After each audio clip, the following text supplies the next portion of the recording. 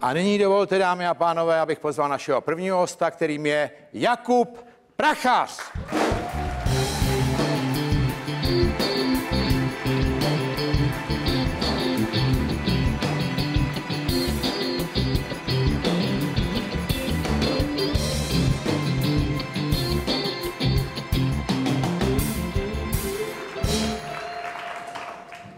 Jakub Prachař, herec, zpěvák a muzikant kapely Nightwork a taky moderátor soutěže Česko-Slovensko má talent, který vysílá stanice Prima.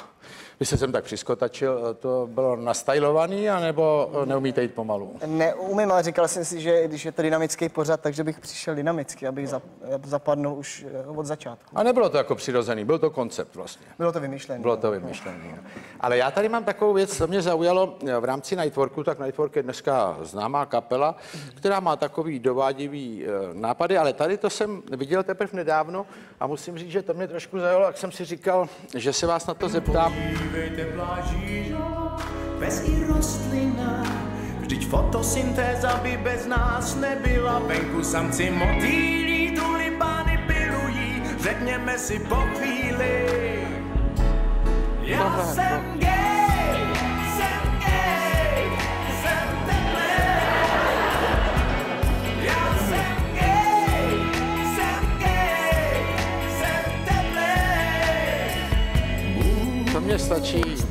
nám stačí. Mně teda bohatě. Ale...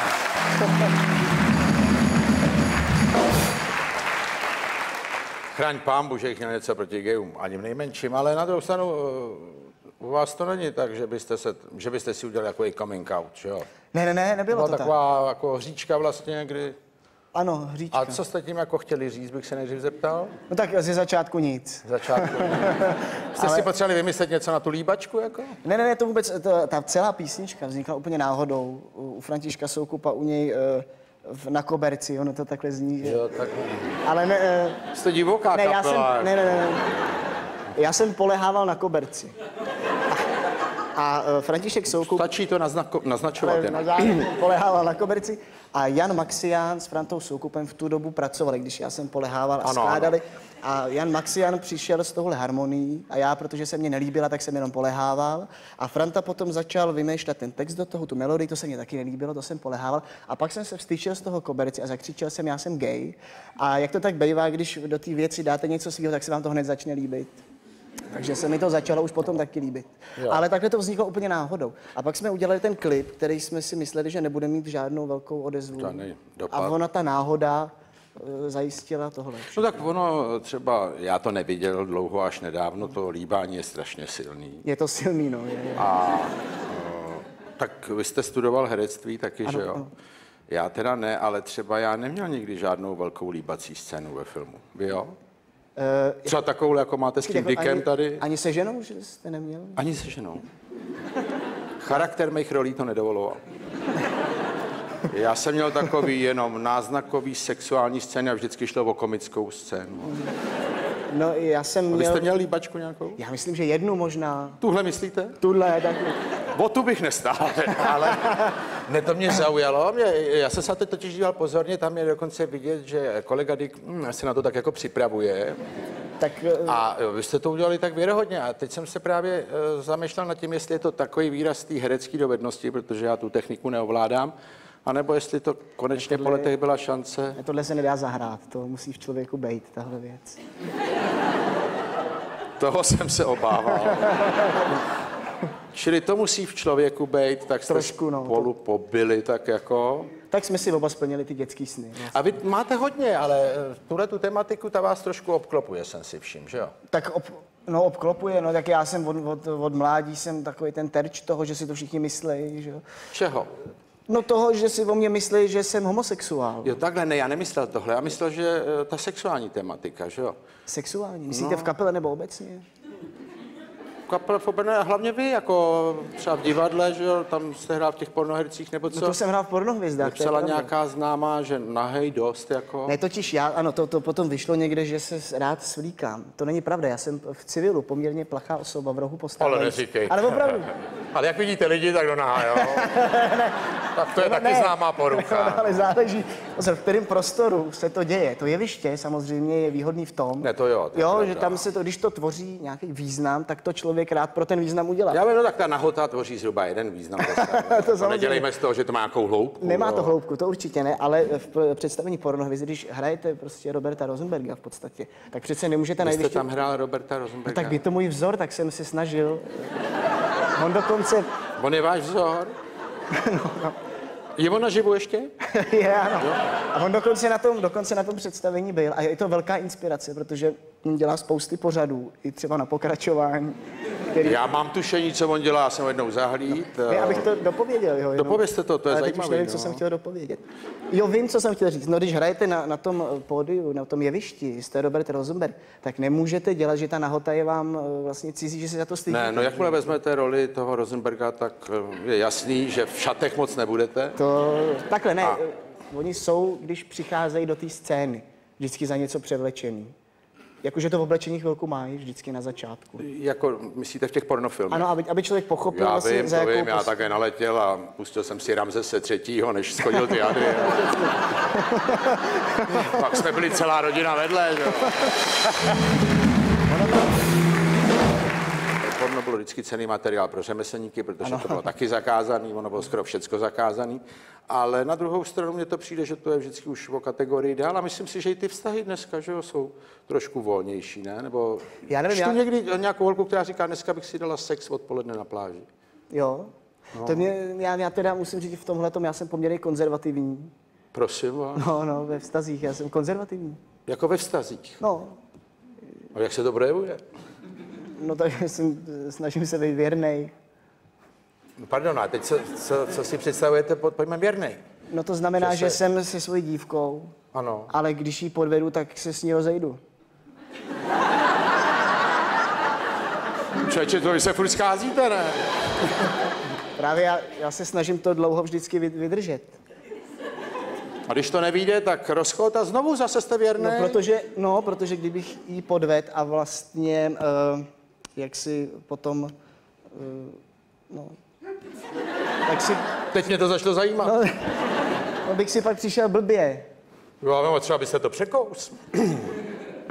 Tak možná někdy Třeba. se to někdy stane. Nebo se to stalo už možná. Nestalo. Podívejte, vy vedete rozhovor sám se sebou. Vy jste určitý komfort pro moderátora. Jako. Čili dozvěděli jsme se, že, že se to nikdy nestane, možná se to stalo, anebo se to stane, ale každopádně lpíte na tom. No, úplně. No, no ale tak, eh, jak si tohle to, jak já jsem zmínil, že někdy napíše někdo, dala bych si sex jako, jako vybíjenou, nebo tak, eh, to se vám nezdá, že to tak je trošku? No možná jo, ale ono je to nezáživný. To, co je jednoduchý, jako z mýho pohledu.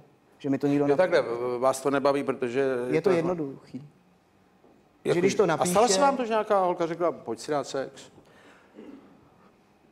Mm. Já si počkám na ty další odpovědi. Ne, uh, asi takhle, nestalo se mi. No tak takhle, že by přišel někdo cizí a tohle mi řekl, tak to se mně nestalo. No cizí, čemu říkáte cizí? No, že jsem ji nikdy předtím neviděl. z dálky někdo úplně neznámý No, a... třeba. No, že jsem ji nikdy neviděl, No, nikdy. No, nikdy. No a potom- No, no tak to když jste nikdy ne- neviděl, tak vám to nemohla říct, ale No, tak dobře, tak... jste v nějakém společenství, že jo, mladých lidí, mladých herců Ano, a tak dále, no a je dobrá nálada, nějaká holka najednou řekne, ježiš, já bych si dala sex. Ne, to se mě nestalo. Co vám nestalo? Počkáme ještě? Ne, ne, ne, nestalo, stane, ale co mám říct. Ne, nestalo se mi to nikdy. Ne. Tady rozhovor sám se sebou nemůžu vést. Teďko teda jste s někým? No, Jo, jo. A dobrý, jo? dobrý. No. Jak dlouho už? Rok a něco. Ježiš, nějaký držák takový. Držák, no. Aha. To držák. A klape to dobrý? Tak jo, řekl bych, že jo. Jo. Ona je taky věrná. Tak to se musíte zeptat jí. Ne, tak eh, to se ptám vás, že jo, jsou takový ty Tak já v, to, typy. já v to doufám. Vy o tom nemluvíte? Jakože bych se ptal, No ptal, nebo to řekne sama. tak to řekne, ale jo. Jako věřím v to, že ano. Ale co? Ano. No, že je věrná. A je to pro vás důležité? Se mi přišla a řekla, včera to byl úlet, opravdu. Nesmyslný večírek, já pitomá spanikařila. No tak... se vyspala s Lučkem, no, ale byla to nesmysl, jenom taková tělesná. No tak to bych se, s, bych se s ním musel rozejít, no. To vy byste dobrý člověk, milujete a tohle a odchod? No, protože to zase vztahuju na sebe, že kdybych já to udělal, tak to taky musím udělat. No je to jenom tělesný požitek, ne? No to, to je určitě, no, ale je to takový, když před váma byl Luděk, že jo, tak... Jak jste řekl, jste řekl Luděk. No, on, no před váma byl taky někdo, nebo jako, vy vám No byl by- píte na tomhle? No ne, jako, tak ale dobře, Panu, jako? no tak ale dobře, tak když probíhá ten vztah, vy to předušíte Luďkem a zase se na tu časovou No, no, tak ona vám vrátíte, tak pak vám tu časovou přímku ale přeruší ona to nepřerušila. Luděk tam lítnul, zmiznul, ona se vám omluví. Jenomže na té přímce ten Luděk je furt, tak tam je. Já vím, ale byl to lapsus, výpadek. No tak jestli mě máte rád, řekne, jestli mě máš rád, tak to dokaž tím, že mi to odpustíš, ne? Dejte mi vteřinku a zapřemýšlím. No ne, tak v tom je ta láska přece. V tom... Aha, takhle. A ne v tom, tak vypadni Ne, a budu s Marcelou, protože tam mi bude celý život věrná. Ne, takhle bych to neřekl, vypadni to ne. Ne. Bych řekl, dej si ještě chviličku čas, už si pobal věci a... Pobal si věci a hráno bys mohla být v čudu už. No a ještě jsem se chtěl zeptat, eh, vy nám tady dneska zaspíváte s eh, nějakou kolegyní, že jo? Zahrajete a zaspíváte. Ano, ano, s Markétou Procházkovou. Markétou Procházkou, to je vaše kolegyně? To je, eh, to není úplně moje kolegyně. Ona akorát, eh, nebo akorát, ona zpívá jednu z hlavních rolí v muzikálu Quasimodo, který, který my jsme dělali ještě s Honzou Maxiánem, s Petrem Kalabem muziku. No a ona tam zpívá právě tu Esmeraldu. Aha, ale to jste složil vy, tu písničku? Tuhle jsem složil já s Petrem Kalabem, ano. Aha, a čili Konkrétně. ona bude zpívat a vy budete doprovázet. Ano, s členy kapely va- vašeho syna.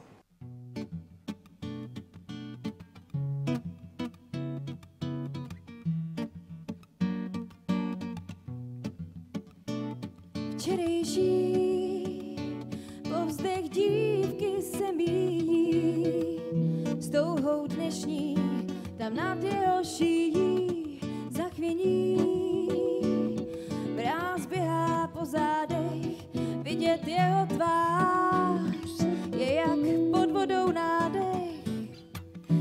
Černý kůň již dále nepění, bude mě hřát při každém setmění místo slunce, jehož jméno nosí Vévus černý kůň, vždy bez podkovy posí.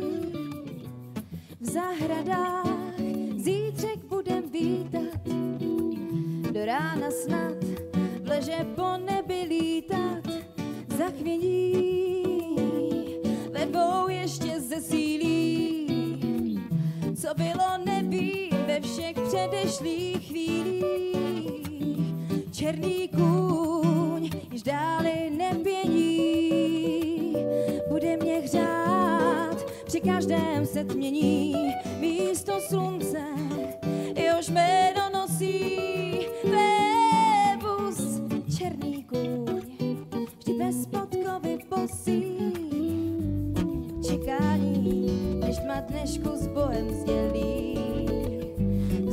kada trval odil neštirjen celi.